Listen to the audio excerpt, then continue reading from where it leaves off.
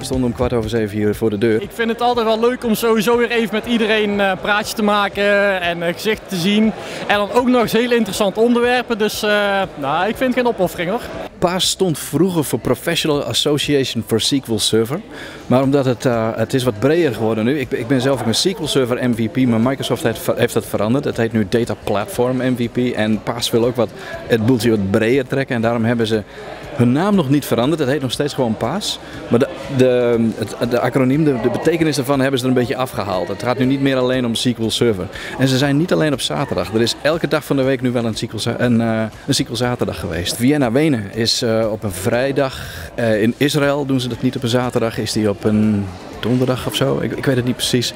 Maar dat, uh, er zijn, uh, niet, voor niet iedereen is uh, zaterdag een goede dag. Ik doe eigenlijk alles met SQL en de Microsoft Stack. Dus ik was opnieuw benieuwd naar de nieuwste nieuwtjes.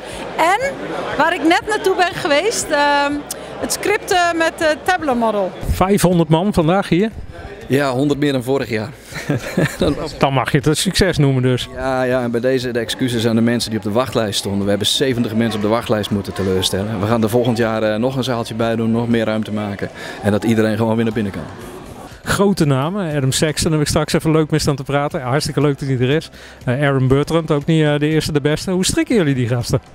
Gewoon vragen. Ik denk dat ik uh, naar de guy in the cube ga. Adam Sexton. You brought your own camera. What, what are you doing with it? Did bring my own camera. So I do YouTube videos, and this is my camera that I shoot with, and I just I'm always it's always it's a part of my body. My wife gets on to me because I'm always editing stuff, and so it's there's always something. What's new in Power BI Premium?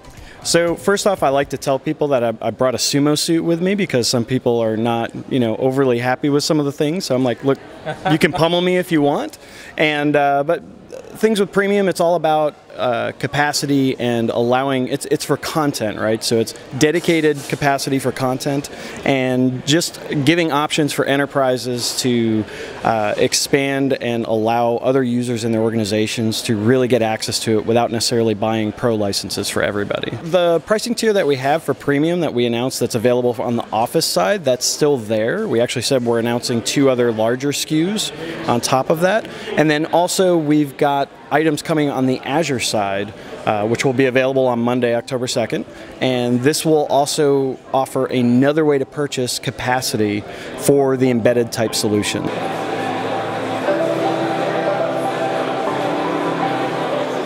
Maar wat ik heel gaaf vind is Explain. He, dus dat je nu op een grafiek in Power BI Desktop kunt zeggen: hey, ik zie hier een toename van iets. En dat we daar AI in gebruiken om jou uit te leggen hoe die toename tot stand gekomen is. En grafieken en tekst bij genereren. En de andere vond ik, uh, wat ik ook wel uh, erg leuk vond om, uh, om te noemen, was de, de storyteller, de timeline storyteller. Die hele visuele manier om echt door een tijd heen een verhaal te vertellen. Je ziet sowieso dat Power BI veel meer richting verhalen vertellen gaat, storytelling. Lekker bakje koffie. Ja, en ook nog lekkere kennis opgedaan? Ja, zeker weten ja. Leuke sessie gehad net over availability groups en, uh, en hoe de werking en zo. Aanstaande maandag komt uh, de nieuwe versie van SQL Server uit, SQL Server 2017. Wat zijn daar de belangrijkste dingen waar mensen naar uit kunnen kijken? Ja, ook daar weer geldt weer voor dat we zoveel hebben gedaan dat het moeilijk is om er een paar uit te pikken. Maar uh, ja, welke ik persoonlijk heel, heel goed vind is de, de Python integratie. He, dus je, hebt, je had natuurlijk in SQL 2016 al dat je R in de server kon runnen, R services. En daar hebben we nu machine learning services van gemaakt feitelijk, waardoor we nu ook Python scripts in de database kunnen runnen. Uh, en natuurlijk de Graph Database toevoeging. En uh, leuke gesprekken met, uh, met leuke mensen. Even bijpraten weer. Welkom ook terug in Nederland. Dat is nog niet zo heel lang, hè? Dankjewel. Nee, zeker niet. Nee, maar dat is wel leuk. Want nou Utrecht, ja, 20 minuten vandaan in plaats van 9 uur vliegen. Dus ja, echt leuk. Ja, ik heb het hier prima naar mijn zin. Ik kom al de oude collega's van me tegen en goede informatie hier zo. Dus ja, leuke prestaties. Eerste keer? Tweede keer. vorige week Ignite, of deze week eigenlijk.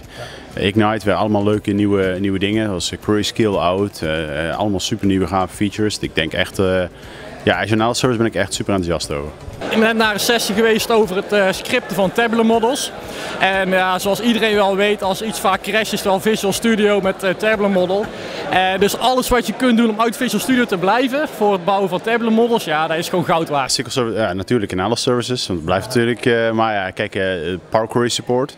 Dus uh, ja, dus je kunt echt Power Query gaan gebruiken in, binnen uh, in alle services.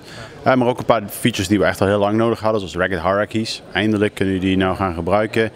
Uh, object level security is ook heel erg interessant. Dus in plaats van vandaag met, met NL Service kun je alleen row level security doen.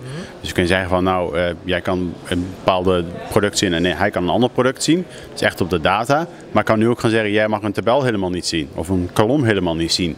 Ja. Uh, terwijl ik dat wel mag. Ja, dat, dat vind ik gewoon heel erg leuk aan zo'n dag. Je zit met een probleem. En vervolgens ga je naar een sessie en hoop je daar een antwoord te vinden en dan krijg je het antwoord.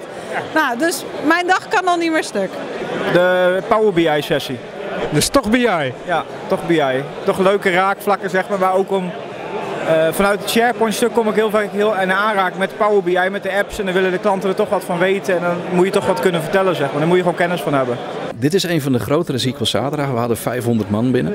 Um, los van de vrijwilligers en zo.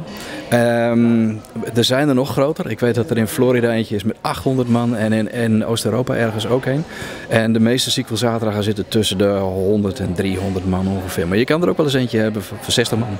Dat komt omdat de meeste vrouwen niet graag in nulletjes en eentjes denken. Die denken, zoals bijvoorbeeld, ik, ik leg dat altijd uit, je hebt heel veel kleuren blauw. Ik zie lichtblauw en donkerblauw. De meeste mannen zien lichtblauw en donkerblauw. Vrouwen zien turquoise, heel erg lichtblauw, heel erg donkerblauw. Dus vrouwen zijn niet zo van de nulletjes en de eentjes. Ik denk dat dat hem is. En wat voor kleur blauw heb ik aan? Ja, je zit er dan... Zal ik het zeggen? Gewoon blauw. Nee, dit is info support blauw. Hij uh, werd getweet door uh, de organisatie van de eerste de beste die zich nu aanmeldt voor een cykel zaterdag krijgt nummer 666. Uh, ik moest rennen naar boven. Ik heb onmiddellijk, ik, ik, had hem ook te pakken. Ik denk de number of the beast, die moet je hebben toch? Komt een hele enge man trouwens aanlopen in één keer. Ja, het, het, trekt wel rare types aan volgens mij. Oh, wie, is, wie, is, wie is die gek? Ik ben El Diablo zeg maar Bo. Ik heb hier mensen gevraagd of ze een contract wilden tekenen. En dat, dat wilden ze. Ze hebben allemaal een contract getekend, dan konden ze wat winnen. Want ja, niks is voor niks natuurlijk. Valt me wel één ding op aan dat contract, er staat niks op. Nee, ja. dat is het mooie.